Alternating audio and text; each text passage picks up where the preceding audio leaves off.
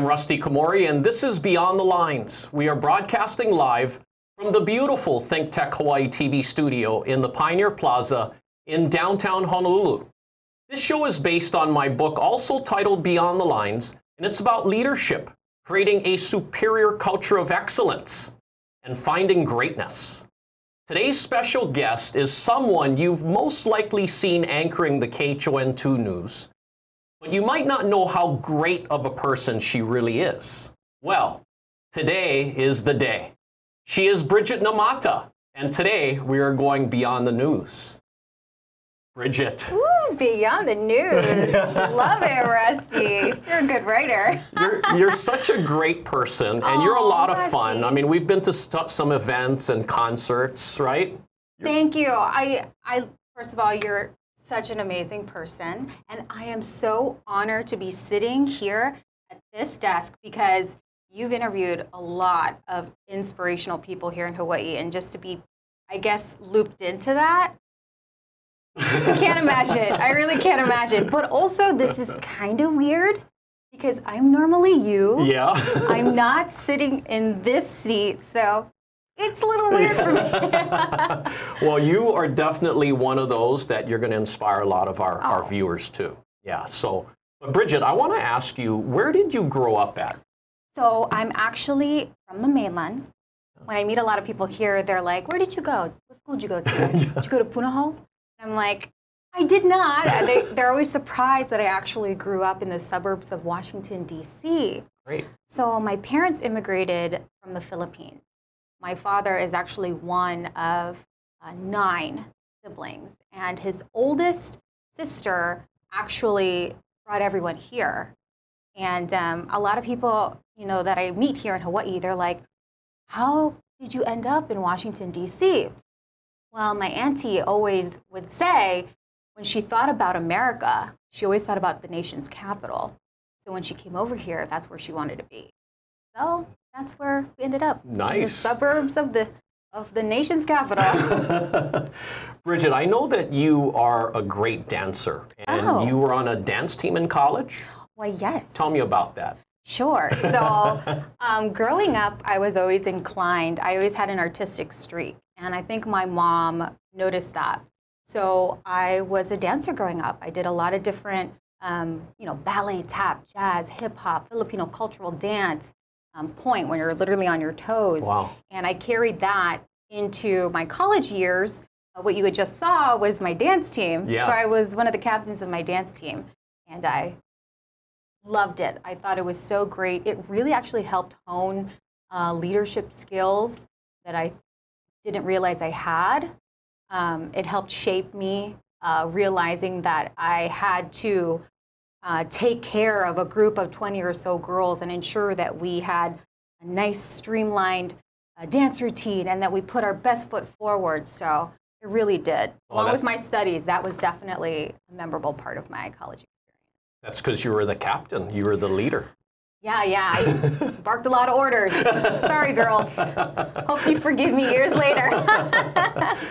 Brigette, tell me about your family, and uh -huh. I want to know what the what's the most important principle you learned from your parents. Ooh, my parents. Well, my mom and dad are two very different people. Um, my father had a lot of enthusiasm and exuberance. Okay. He was certainly an extrovert. That's him. That's the kingpin in our family. my mother was uh, quieter, but she exuded this type of charisma that you can't really craft. It's just part of who she was. And the great thing I learned about my mom was she led by example. If I think about it, I never learned anything from her. She never sat down and said, Brigette, do this, do that. She always did things, and I watched her, and she was such a hard worker. And that's something that I definitely learned from her. And my father, I learned that it was okay to be a little vocal. It was okay to talk and, and ask questions because that was the kind of character that he was. So I think I learned the best of introvert and extrovert qualities, perhaps. Yeah. From both of them. Got it.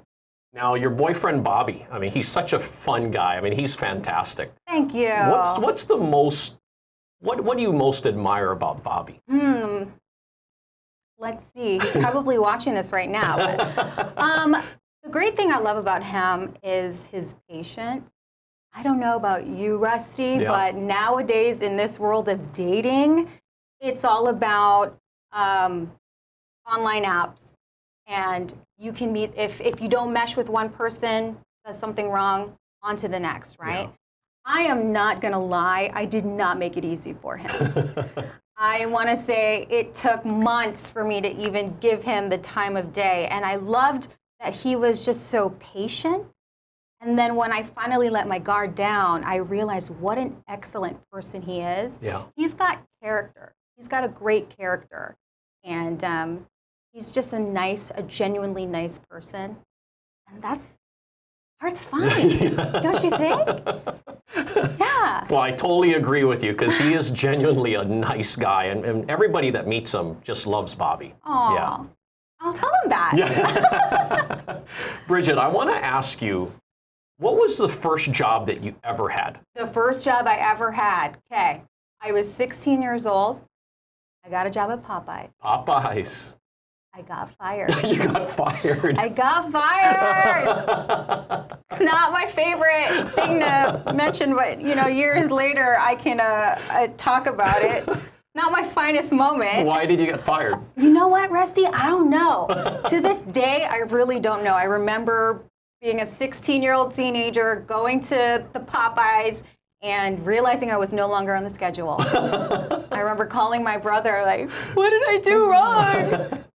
He's just like, it's just Popeyes.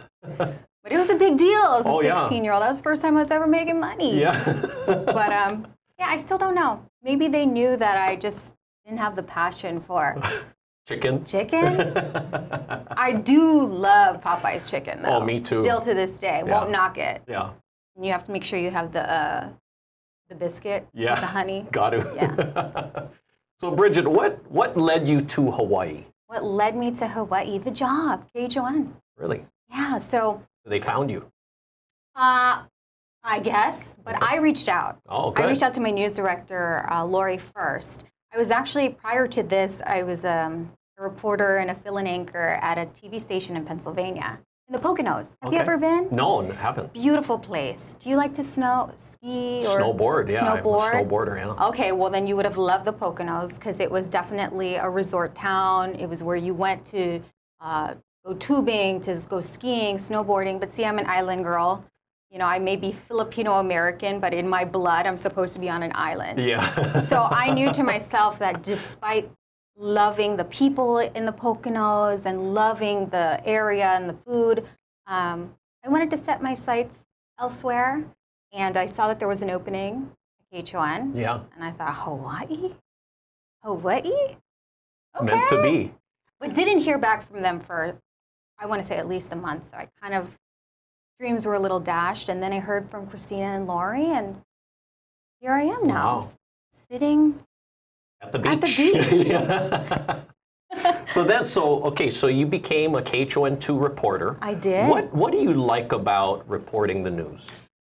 The thing about being a reporter, one, um, it kind of works well with my personality too because every day is different. Yeah. You know, one day you can be uh, reporting from the side of the H1 freeway, or the next day you can be really telling someone a story that would really impact them.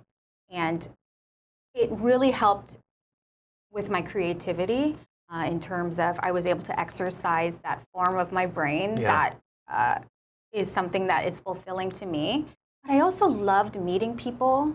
You know, it's not every day you get to meet um, a random person or, or, or meet someone, a stranger that could potentially be a friend, or meet great people like you, Rusty. you know, so that was what was the great part about um, being out in the community. And not only that, but it really helped me understand Hawaii more. And I realized that despite growing up 5,000 miles away, the ideals and um, the culture that I grew up in with, within my Filipino family, that's something that's found here. When I moved here, I immediately felt like I was home. So just being out there and meeting people in the community kind of reinforced that. Oh, that's a great feeling to have. Yeah. And You also covered President Obama's trip here and you saw Air Force One. Tell me about that experience. Rusty, that was so cool. Yeah. Like, I am not going to lie. No matter what your affiliation is, your political affiliation, the fact that you're in the presence of Air Force One, it'll just blow your mind away. Um, I didn't get to see President Obama up close. I mean, I was pretty far away from him, but I did see him. yeah. So I thought that was great to be in the presence of uh, greatness, to be in the presence of someone who ran the United States. Yeah. yeah. thought that was.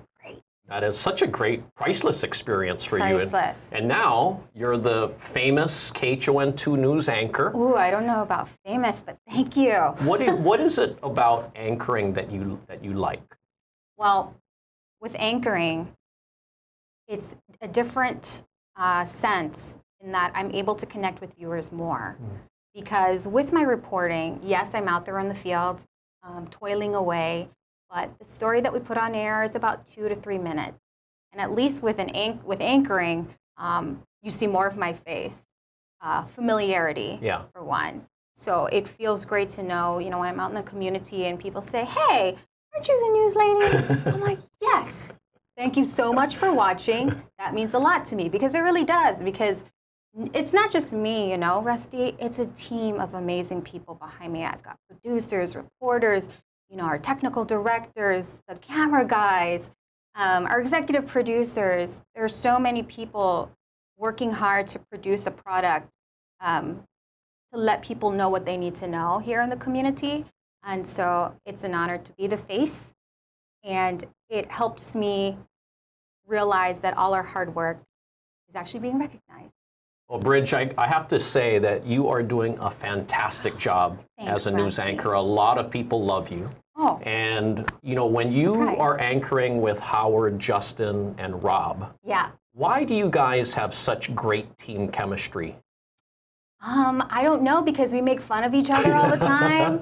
I mean, I you can't even begin to imagine the many eye rolls I have in between commercial breaks because they're just uh, but you know, I love them like brothers. Yeah. You know, we're always making fun of each other. It it's just like it's just a good time. I think genuinely, maybe it's because we're friends. Yeah. As well. And so what you see on air is not crafted. Yeah. It's very genuine. Um, but that's just kind of how we all are. Yeah. We don't have a facade. Robbie, Rob DeMello, Howard Dashevsky, Justin Cruz, they're just who they are on camera. And I think that's great that you guys can sense that. Totally. And, you know, I mean, you said genuine. I mean, they are fantastic guys. I mean, the authenticity that they that people see on camera. Yeah. That's how they are off camera too. Oh, They're yeah, just yeah. great guys. And anytime you see me rolling my eyes at Howard Dashevsky, That's real. those are all real. now let's talk about your general manager, Christina Lockwood. I, Yeah. I had her on my show a few months ago. Mm-hmm. She's so fantastic. She's. She amazing. She is. Why is she such a great leader? So the thing about Christina is she, you know how when you meet her, she exudes warmth? Yeah. And um, she's just a very caring individual. There's Christina. Yeah. She just really cares about her team. And no matter how busy she is, there's always a smile on her face, or she'll always acknowledge you, say hello. When she's walking through the halls, you can hear her voice carrying through, just saying hi from like all the way down the hall. She just is an approachable person.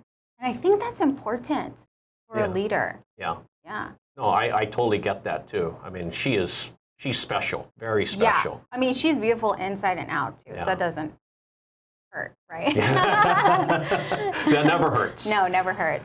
Now, Brigette, tell me what the Laulima, Laulima Giving Program is and how Oh. KHON2 is uh, Yeah. affiliated with them. The Laulima Giving Program has been affiliated with KHON for many, many years now. And the program is a nonprofit organization that um, helps underprivileged families, especially particularly during the holidays, you know, when everyone is having a great time with their family and, and sending each other presents. A lot of families in Hawaii don't have um, the opportunity to do that. So what we do is we try to ask um, people to find it within their hearts to donate, you know, or, or anything to just help a family out in need and make their holidays as bright as your holiday is. Yeah. So I love it. I'm very proud to be a part of that. When um, when they ask the on-air talent to um, MC events or certain things, I always jump to do it because it's nothing like helping someone out. Yeah. I don't know. It just gives me a rush. It's a great cause, and I'm glad that Yeah. KHON2 is affiliated with them. Um, Brigette, we're going to take a quick break, and when we come back, we're going to continue going beyond the news. Great. You are watching Beyond the Lines on Think Tech Hawaii with my special guest, Brigette Namata. We will be back in 60 seconds. Aloha. I'm Keisha King, host of At the Crossroads, where we have conversations that are real and relevant. We have spoken with community leaders from right here locally in Hawaii and all around the world. Won't you join us on thinktechhawaii.com or on YouTube on the Think Tech Hawaii channel? Our conversations are real, relevant, and lots of fun. I'll see you at the crossroads. Aloha. Hey, aloha everyone, and welcome to the Think Tech Hawaii studio. My name is Andrew Lanning. I'm the host of Security Matters Hawaii. We air here every Tuesday at 10 a.m. Hawaii time, trying to bring you issues about security that you may not know, issues that can protect your family, protect yourself, protect our community, protect our, our companies, the folks we work with. Uh, please join us, and uh, hope you can um, maybe get a little different perspective on how to live a little safer. Aloha.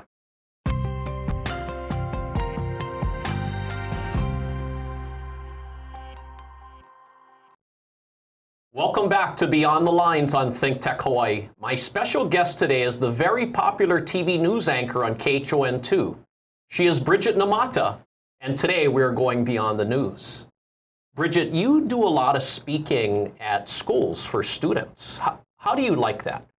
So I love it because there's a story around it. Yeah. Uh, when it comes to career days or read to me's at, at various elementary schools, I, when the time permits, I will definitely do it because it was around their age that I knew I wanted to be a journalist. Uh, growing up in the Washington, D.C. area, I had a very prominent D.C. anchor come and talk to us for career day. And I remember thinking, yeah, that's what I'm going to do. Wow.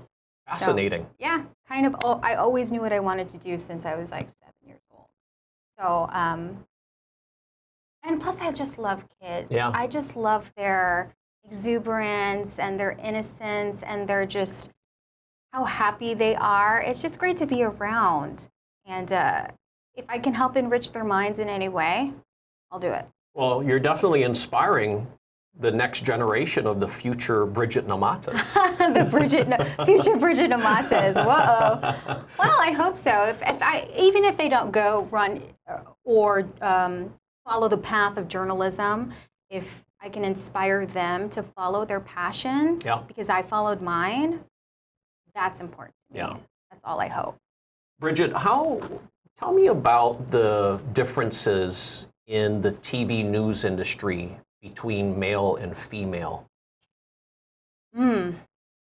Okay. Let's get into it. We're going to get into Yes, it. We yes. should. Okay. so I've been an anchor. Or I've been an anchor now. Uh, was promoted, uh, and I've been an anchor for about a year now. Yep. And um, I'm beginning to see the stark differences that female anchors or female journalists get versus male journalists. I actually had this conversation with Justin Uh-huh. and Dash, and I asked them, you know, do you ever get comments about your appearance? Oh, And they never do. But if you talk to any female on air talent, there will always be someone saying, you know, things about what you're wearing, how your hair is, what you look that day. And it's just very interesting that men don't have that pressure of looking perfect. Because if you don't look a certain way or you don't look perfect, you're going to get ridiculed. And it is part of the profession. It is something that I understand. I put myself in, the, in this position. But it's also not why I joined this uh, field. yeah. why I wanted to be a journalist. So it's very interesting that, you know, especially with women, they tend to get ridiculed a lot more for their appearance Mm. versus a guy. It's interesting just, you know, hearing that insight. And I want to ask you, Brigette, about success. In my book, I talk about achieving and sustaining success. You've definitely achieved success. Oh, thank you. How do you how do you define success? when you get to go home with a smile on your face, feeling proud that you did all you could do. I always want to make sure that I'm putting my best foot forward. And there are days when I'm not. You know, there are days where I just feel like, oh, I didn't do this right, I didn't do that right. I'm quite hard on myself. Yeah. But if I'm trying the best that I can um, and trying to be better than I was the day before, that I feel is what success is. I never want to be stagnant. I never want to think that I can't do better or that I have just plateaued. I just don't believe in that. I Yeah. believe that everyone is capable of being a better version or doing better than the day before. Totally agree. I, I know you have high standards, and the great Arthur Ashe had has a famous quote where he says, "You never really play an opponent. You're playing yourself and your own highest standards." Now I know you have high standards. I and do. You have a great culture of excellence. What is your culture of excellence like for you? Culture of excellence.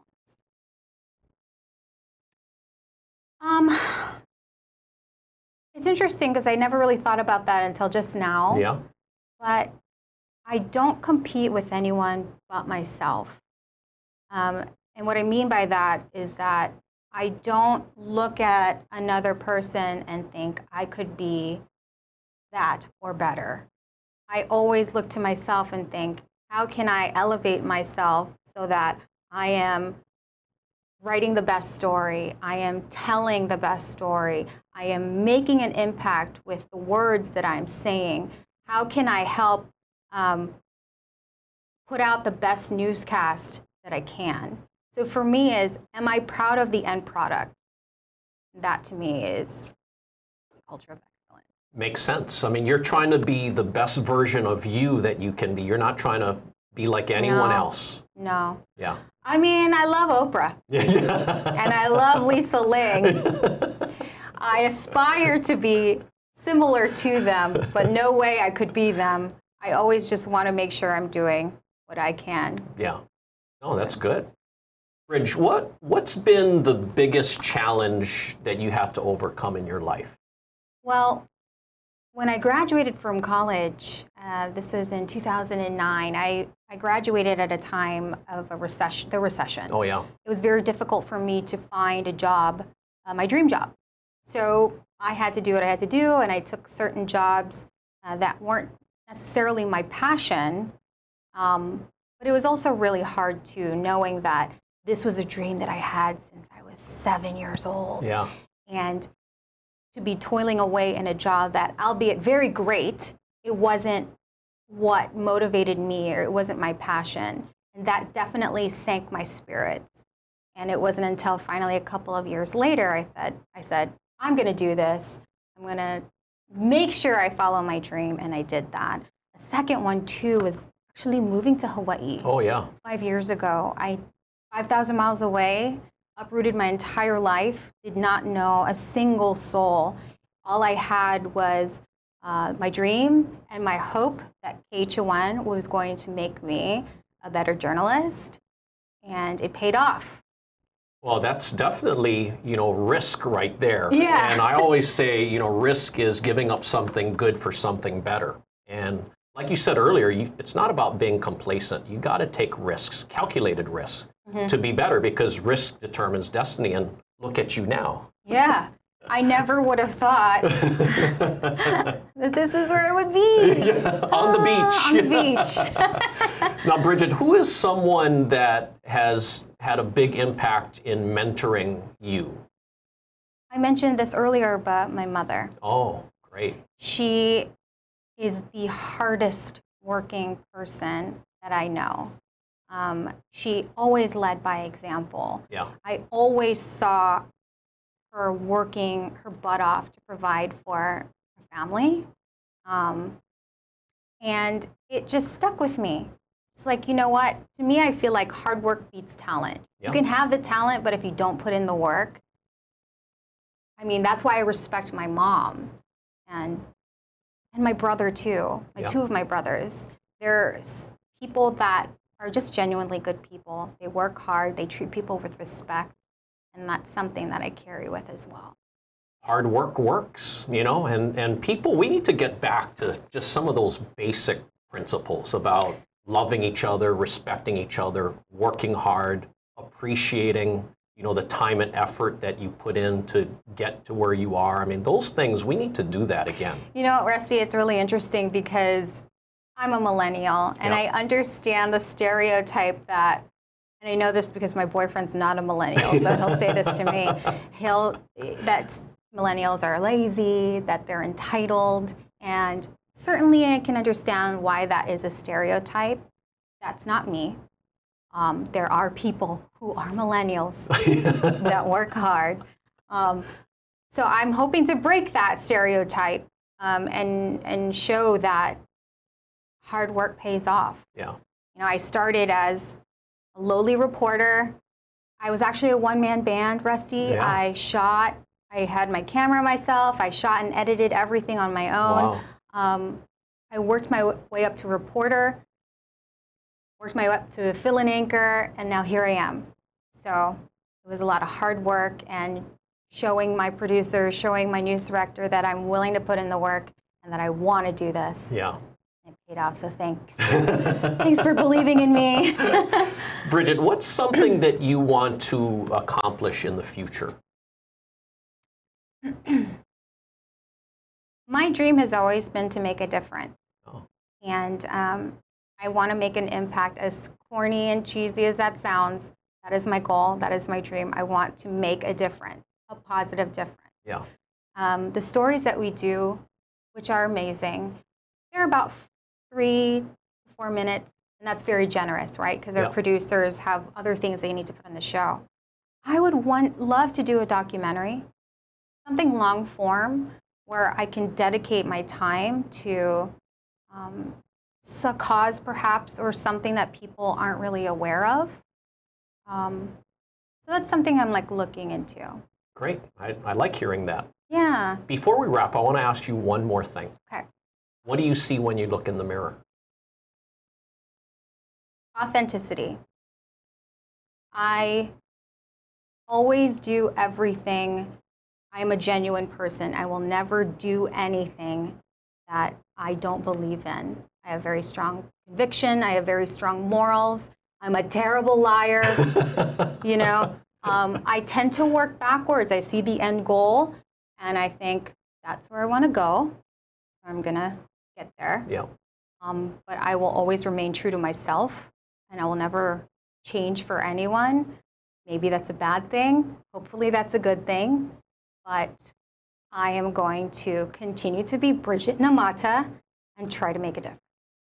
Brigette, you definitely are. You're definitely authentic. You're definitely making an appearance or a difference. A difference. And I want to thank you for joining me on the show today. I am honored. Thank you so much for thinking of me and having me sit here with you at the beach. Now everyone's going to love you when they watch you on the news. I hope so. Thank you, Brigette. Thank you. And thank you for watching Beyond the Lines on Think Tech Hawaii. For more information, please visit rustykomori.com and my book is available on Amazon and Barnes & Noble. I hope that Brigette and I will inspire you to create your own superior culture of excellence and to find your greatness and help others find theirs. Aloha.